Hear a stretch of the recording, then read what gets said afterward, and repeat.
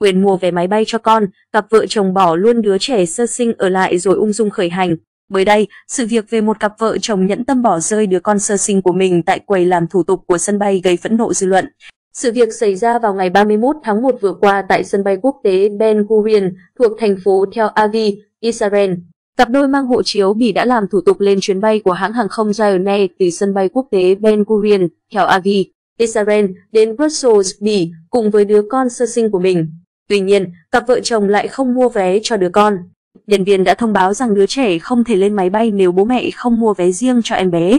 Nhưng thay vì mua bổ sung vé cho con, cặp vợ chồng lại quyết định bỏ đứa trẻ lại trong xe đẩy ở quầy làm thủ tục và đi thẳng đến khu vực kiểm tra an ninh. Nhanh chóng lên máy bay tiếp tục chuyến đi.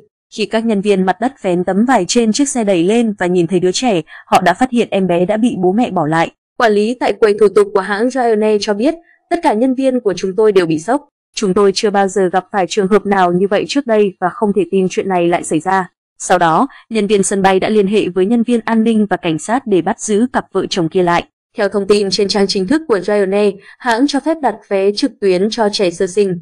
Với trẻ sơ sinh còn ngồi trên lòng người lớn, hãng sẽ tính phí khoảng 27 USD mỗi chuyến bay cho một trẻ. Người lớn phải mua vé riêng nếu muốn có ghế em bé cho con mình.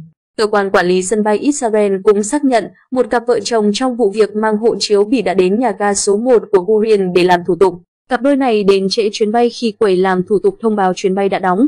Cặp đôi đã bỏ lại đứa trẻ và cả xe đẩy cho trẻ sơ sinh, chạy về phía khu vực kiểm tra an ninh để cố gắng đến được cổng lên máy bay. Người phát ngôn của cảnh sát Israel cho biết, vụ việc sau đó đã được giải quyết, đứa trẻ đã được trở về với cha mẹ và không có cuộc điều tra nào sau đó.